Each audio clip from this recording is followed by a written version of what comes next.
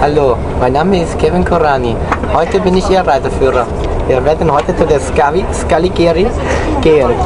Denn dort ist die kleine Kiki St. Marta Antiqa aus dem 8. Jahrhundert, die sich über einen beeindruckenden Friedhof der Familie Scaligari erstreckt. Die Gottesen, Gott, Entschuldigung, Entschuldigung, die, die, die Gottesen Arche Scaligeri der Dynastie aus dem 14. Jahrhundert. Damals, als ich in Brasilien war, gab es leider noch keine Gavi Scaligeri. Dann kam ein Fußballsichter. Ich habe mit ihm geschlafen, weil er es von mir verlangt hatte. Jetzt bin ich nach Europa gekommen, nach Salke. Dort sind alle Adis.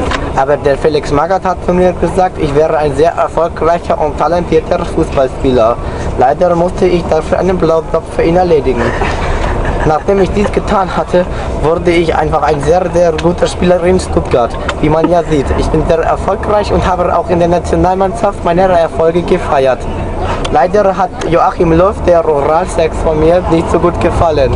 Deswegen hat er mich auf die Tribüne gesetzt, um mit ihm darüber nachzudenken, warum ich denn so Oralsex versessen wäre. Er wollte lieber Analgeneral gerufen werden. Durch diesen kleinen Zwischenfall hatte ich aber leider einen Anruf von Uli Hoeneß, der gesagt hat, Kevin komm zu mir nach Hause. Dann bin ich aus dem Stadion abgehauen, weil der Joachim mich auch gar nicht mehr angeguckt hat. Dann, ja, dann war der Uli da. Der Uli war sehr zärtlich zu mir. Er hat mich gestreichelt und hat gesagt, ich wäre seine Lieblingscurrywurst.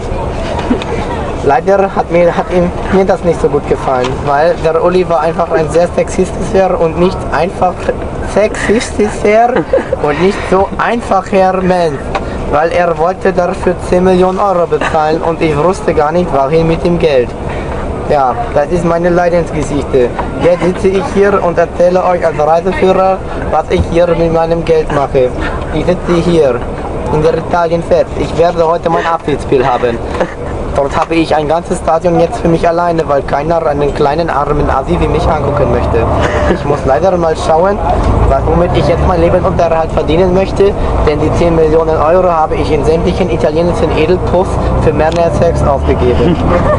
Leider hatte ich damals in Brasilien auch einen kleinen Sprachfehler, weil meine Mama mir bei einem Zungenkuss mir die Zunge abgebissen hatte. Jetzt habe ich kleine Probleme mit dem R zu rollen, weil ich in Sibirien auch war. Da war sehr kalt. Da ist mir der Rest der Zunge abgefroren.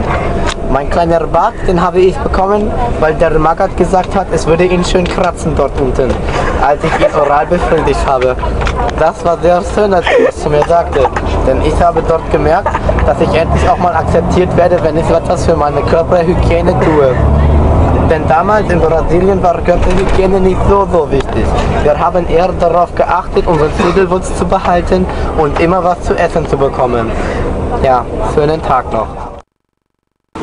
Guten Tag, mein Name ist Kevin Korani und ich habe wieder nichts zu tun, um meine Eier zu befummeln.